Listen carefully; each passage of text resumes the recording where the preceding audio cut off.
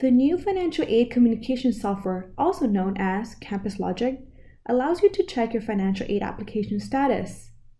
The software informs you on additional information needed to complete your financial aid status. Let's begin by registering your account.